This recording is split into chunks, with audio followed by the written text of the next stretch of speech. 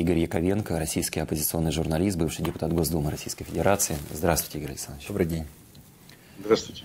Итак, э, первые пять строчек в списке по числу погибших в кровавой путинской войне э, занимают Тыва, э, Бурятия, Ненецкий автономный округ, Республика Алтай и Забайкальский край. То есть геноцид украинского народа и геноцид народа в своей собственной стране устраивает Путин. Ему на это наплевать. И вот вопрос. А жителям Москвы и Санкт-Петербурга – тоже все равно, что гибнут их сограждане. Так получается? То есть отношение какое? Это где-то далеко от них? Вот это Тыва, Бурятия, низший шорт, э, сорт, обслуживающий персонал, не жалко? Так? Ну, в общем, так.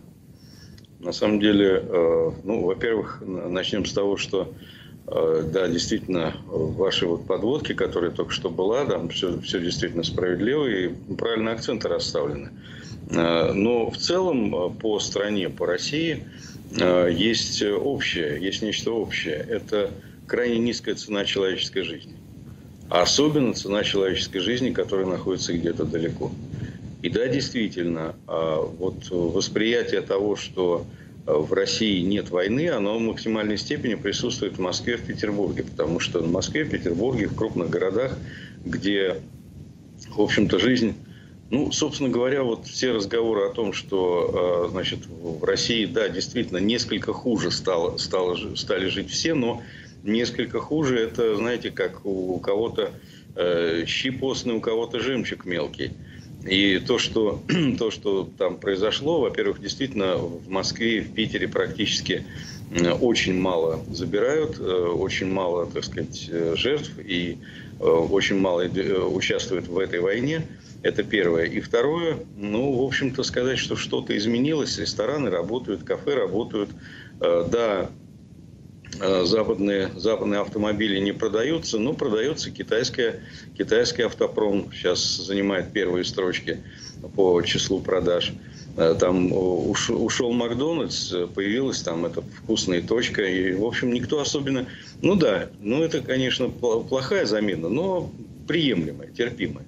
Ну, то есть, фактически э, никаких особых проблем в Москве и в Питере нет.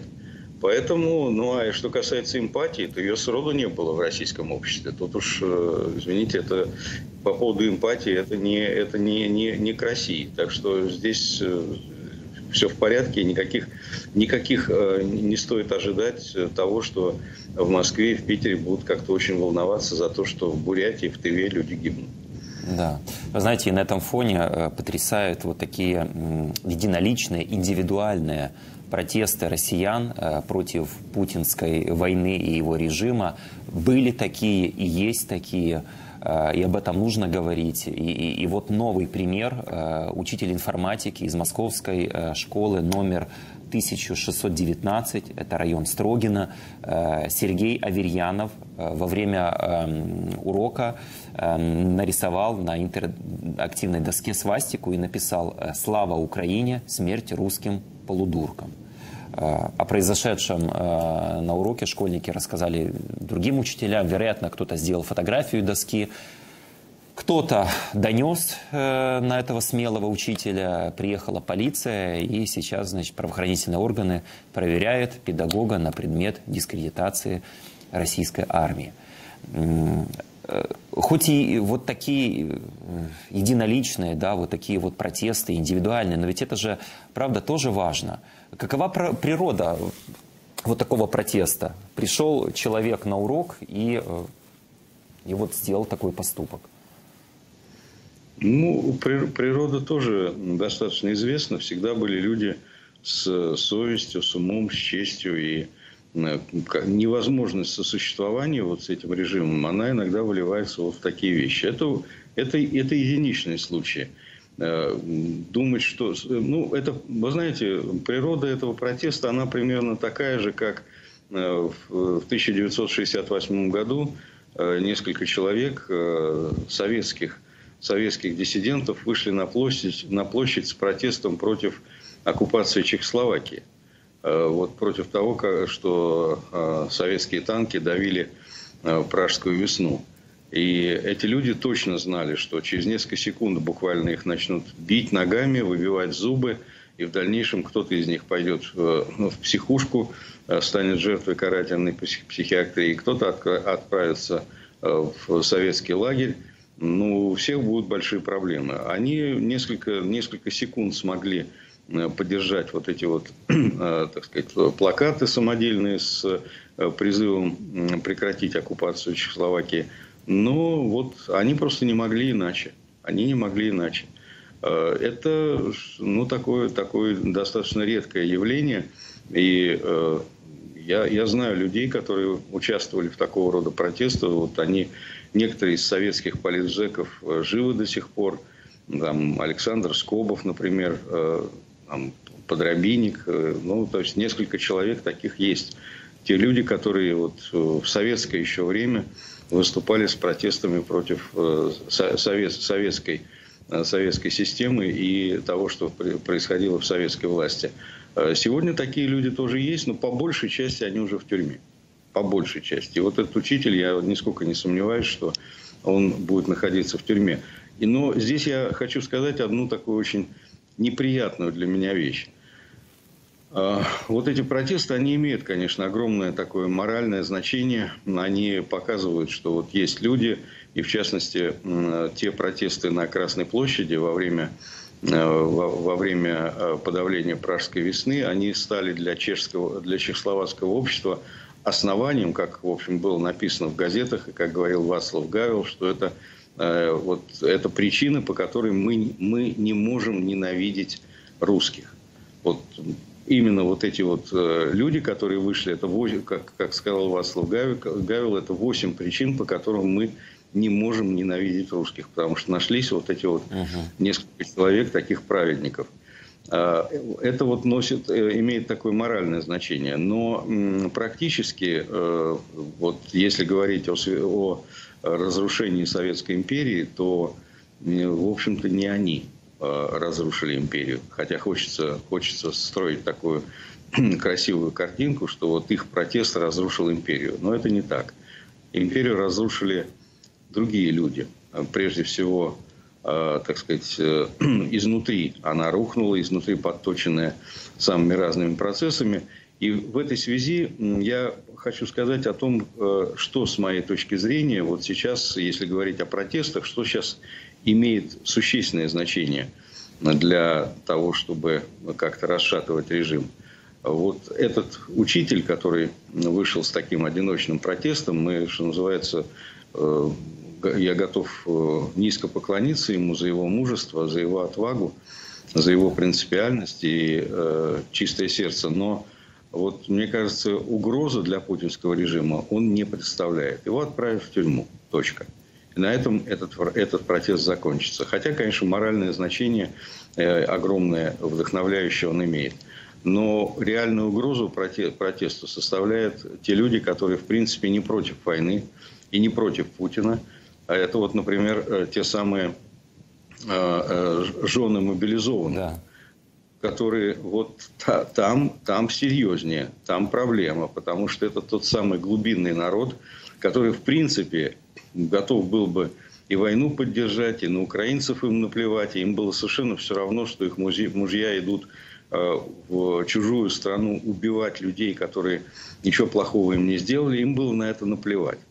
Но вот э, когда уже полтора года войны, а и более, ну уже скоро два года войны, а их мужья находятся на фронте, кто-то, так сказать, погибает, кто-то э, еще жив, но никто, никого не собирается возвращать. И вот, значит, вот это Э, вот эта компания «Верните нам мужей», э, несмотря на то, что морального там, э, моральной, политической основы там нет никакой абсолютно. То есть они не против путинского режима, они были бы готовы согласиться с тем, чтобы вообще всю Украину там перебили.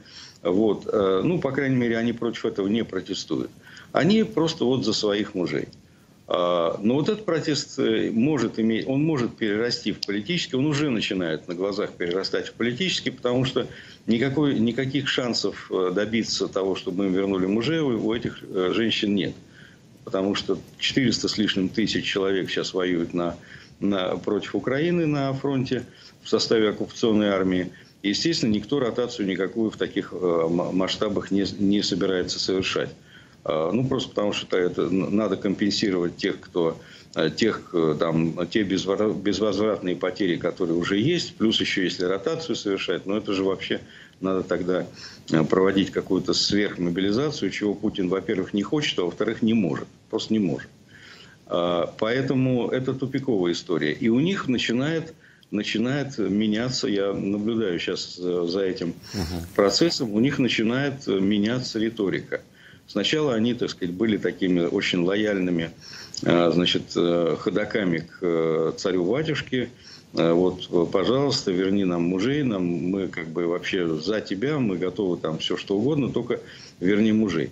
А сейчас они уже пишут матерные какие-то обращения, так сказать, нецензурные в, в адрес Путина того же самого, проводят вот этот флешмоб, значит, верните мужа, я задолбалась, причем, так сказать, такой наклейки на машинах с достаточно очевидным подтекстом, выпускают резолюции. У них есть вот этот вот э, телеграм-канал, правда, пока не очень раскрученный, но, тем не менее, довольно профессионально ведущийся. И явно, что совершенно очевидно, что там э, ну, есть квалифицированная поддержка, то есть явно, что не из своей среды, потому что, ну, в общем, среда жены мобилизованных – это все-таки определенная среда, это жены мобилизованных, то есть жены тех самых людей, вот того самого ну, я не буду э, стесняться, я скажу, э, с, так сказать, то, что я думаю. Это, в общем, социальное дно. Это социальное дно. То есть, это люди, которые... То есть, э, профессоров там нет. Э, интеллектуальных э, каких-то айтишников и э, каких-то э, специалистов по бизнес-процессам там нет. Там, в общем, люди, которые получали э, копейки, которые жили на, там, всей семьей на бабушкину пенсию в депрессивных регионах – Э, ну, в общем, более-менее примерно понятно, что это такое. Отсюда, кстати говоря, Буча, отсюда Мариуполь, потому что если в Украине... Да. Ворованные эти все унитазы и так далее, стиральные машины, да. Это портрет этих людей, понимаете? То есть, если в Украине в армии, в, в ВСУ э, воюют лучшие, то в российской армии воюют худшие. Вот это, это просто факт. Но в этом Поэтому... и проблема, да, для, для, для Путина, что люди, это же его электора, э, электорат, да, и, и, и, и что примечательно, тут нет головы, да, у этого протеста, нет какого-то, как с этими учителем, посадил и все, как бы нет проблемы. Да. А здесь, Или как нет. бы, это женщины, да, вот, они и там, Совершенно и в Новосибирске, и в Челябинске. Конечно. Мало, мало того, тут э, как бы, ну, это не ситуация там с протестом Навального, когда Навальный в тюрьме, все, протеста, протеста нет, некому. А здесь это протест, он внутренной. И еще хуже дело обстоит. Дело в том, что привычные методы уничтожения протеста здесь не очень работают. Потому что ну, обычный протест, там, навальнисты какие-то, еще кого-то. Ну, тут проблем нет никаких, так сказать. Взяли, дубинками побили, в автозаке посажали, отправили кого в тюрьму, кого, так сказать, просто по административке. А, это привычный метод. То есть здесь как бы э, вот весь этот либеральный протест, он для Путина не опасен, потому что известно, что с ним делать. Есть э, там под, под 400 тысяч Росгвардия, здоровенные мордовороты, которые готовы из пулеметов расстрелять хоть миллион. И все, и проблем нет никаких. Здесь так не поступишь, потому что, понимаете, это все-таки жены мобилизованных. Это жены тех людей, которые сейчас с оружием в руках находятся на, на фронте. И в нынешней ситуации, когда мгновенная информация просто распространяется, э, картинка, фотография или видео э, того, что значит, здоровенный мордоворот, э, росгвардеец, избивает дубинкой жену мобилизованного, и она тут же, эта, эта фотография, это, это видео тут же на, будет находиться на фронте, тут же в окопах она будет распространяться, и тут же мгновенно вызовет совершенно непредсказуемые процессы в головах вот этих вот людей, которые сейчас воюют против Украины. И вот когда он увидит, что его жену избивают, вот этот вот военнослужащий увидит, что его жену избивает здоровенный, сытый ОМОНовец, э, росгвардеец, который отсиживается в тылу, в то время как он подыхает э, в, в украинской земле, непонятно за что. Ну, тут вот как, как знать, особенно если это все если это все, так сказать, совпадет с какими-то серьезными поражениями от украинской армии, да даже если не совпадет, все равно, так сказать, возникнет какой-то процесс. Чем этот процесс закончится, не знаю. Может быть, ничем. Может быть, пошипит, пошипит и погаснет этот пожар. в головах людей. А может быть и нет. А может быть это в результате выльется в какое-то в какое-то в какое-то подобие Пригожинского похода э, марша справедливости, но только с другим результатом. Потому что Пригожин э, шел на Москву с целью как бы сделать с Путиным какую-то криминальную разборку, и в основном там разговор был про деньги. А здесь может быть совершенно другая ситуация. То есть я не утверждаю, что так будет, я утверждаю, что так может быть. И поэтому в Кремле, в общем, не, не, не сплошь идиоты сидят, они понимают, чем может кончиться вот такое жесткое подавление протеста этих жен мобилизованных. Поэтому мне кажется, что здесь есть, э, я не уверен, что так будет, но я думаю, что, по крайней мере, есть определенный шанс на то, что этот протест, он будет, во-первых, его невозможно убрать основу этого протеста, потому что ну, они все находятся на фронте, их никто не собирается каким-то образом освобождать, никто не собирается отправлять домой. Поэтому основа для этого протеста есть, она с каждым днем будет все больше, больше и больше. Ну, вообще абсурдная ситуация получается. То есть женщины, с одной стороны, требуют вернуть э, их э, мужчин с фронта. Те на фронте э, гибнут буквально по тысяче в день. Э, с другой стороны, Путин, который призывает женщин рожать как можно больше, говорит, давайте в России будем э, возрождать традицию многодетности, но сам э, начал кровавую войну, в которую втянул уже сотни тысяч людей. Только лишь его армии погибли уже 330, почти 330 тысяч солдат. Ну, абсурд какой-то. И э, что, а что с детьми да, происходит? Э, мы тоже об этом часто говорили, об этой промывке мозгов э, с раннего детства в России. Программируют школьников буквально на войну, на смерть. Э, героями им представляют бывших зеков, убийц, э, насильников – которых опять же помиловал Путин. И, кстати, эти женщины тоже э, не зря возмущаются, говорят, ну вот для кого мы, значит, эта вся война э, получается для вот этих зеков, насильников. Мужики гибнут, да, здоровые, и, а вот такие возвращаются с фронта. Я вчера еще ужаснулся э, когда увидел вот эту информацию, попрошу сейчас показать, это в Центре детского творчества в Татарстане детей обязали делать хвостики для мин. Вот это видео, вот эти хвостики. Это, я, если очень просто, это такие стабилизаторы, чтобы мина, когда ее сбрасывают с дрона на голову украинцам, чтобы эта мина летела точно в цель. И это делают дети. Как? Как это возможно? Я не знаю. Ну, что я могу сказать? Это стремление, э, на самом деле я не уверен в том, что э, вот большой военно-экономический смысл в том, чтобы э, дети этим занимались. Я не, не, не думаю, что это решение проблемы, что без этого военная промышленность России не обойдется. Я думаю, что это стремление замазать кровью, это стремление изначально, чтобы этот человек маленький, который участвует, ему же объясняют, зачем это делается. И он будет чувствовать себя тоже убийцей, он будет чувствовать себя причастным к этому, к этому процессу, кровавому колесу, которое сейчас э, катится из России в Украину.